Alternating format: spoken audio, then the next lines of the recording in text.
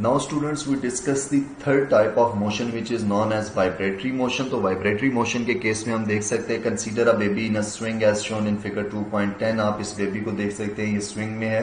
ये स्विंग अपने एक axis this these are the two lines along which a swing is attach to its poles अगर कोई भी बॉडी अपनी मीन पोजिशन के along to and fro motion करती है mean position is its central position students तो आपके पास कोई भी बॉडी जिस टाइम अपनी मीन पोजीशन के about to and fro motion करती है तो हम कहते हैं वो वाइब्रेटरी मोशन है। इनको हम डिस्कस करते हैं कि कैसे करती है।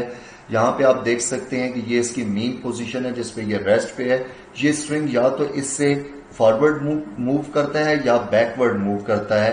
तो this is the mean position यहाँ से स्विंग फॉरवर्ड आता है अगेन मीन पोजीशन पे जाता है देन बैकवर्ड जाता है। फिर मीन पोजीशन पे आता है और फॉरवर्ड है। This is called to and fro motion of swing इसी तरह अगर आप पेंडुलम के केस में देखें तो पेंडुलम का क्लॉक का ये पेंडुलम जो सा होता है, ये अपनी इस मीन पोजीशन पे होता है। This is central position of pendulum clock जिस टाइम हम इसको ऑन करते हैं। तो ये इस सेंट्रल अपनी मीन पोजीशन से या तो राइट right पे मूव करता है राइट right से वापस आता है अपनी मीन पोजीशन पे देन लेफ़्ट पे मूव करता है. अगेन राइट से मीन पोजीशन और लेफ़्ट पे मूव करता है. इसी तरह इसकी मूवमेंट स्टार्ट रहती है. तो ये भी हम टू एंड फ्रो मोशन कहेंगे अबाउट अ मीन पोजीशन इसको हम अब डिस्कस कर लेते हैं. As it is push the swing moves back and forth about its mean position जिस तरह हमने यहाँ पे कहा कि ये स्विंग फॉरवर्ड और बैकवर्ड मूव करती है अपनी मीन पोजीशन के along the motion of a baby repeats from one extreme to the other extreme with the swing to and fro motion of a body this is the definition of vibratory motion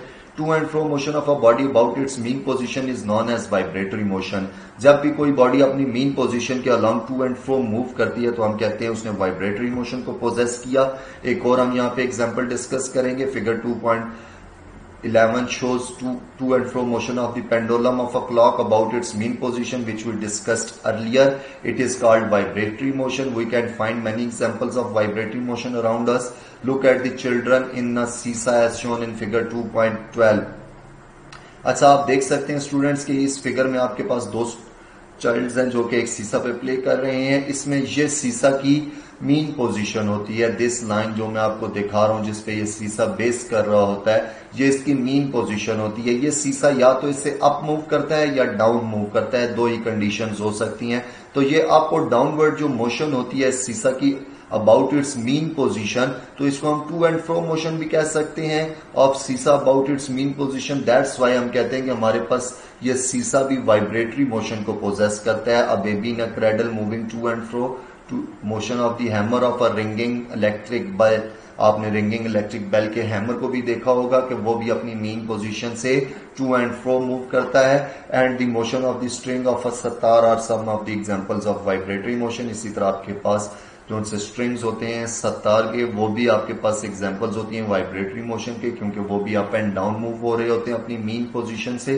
तो students जब भी हमारे पास कोई भी body अपनी mean position से to and fro to and fro different cases में different चीज़ हो सकती है, जिस तरह सीसा के केस में अप एंड डाउन मूवमेंट होती है। इस स्विंग के केस में फॉरवर्ड और बैकवर्ड मूवमेंट होती है, जबकि पेंडोलम के केस में राइट और लेफ़्ट मूवमेंट होती है। इन तमाम मूवमेंट्स को हम टू एंड फ्रो मोशन कहते हैं। But about a mean position is important कि जिस टाइम भी कोई भी बॉडी अपनी मीन पोजीशन के along to and fro move करती है तो हम कहते हैं उसने वाइब्रेटरी मोशन को पोजेस किया। That's the end if you have any questions regarding the topic ask it on the WhatsApp group thank you very much students Allah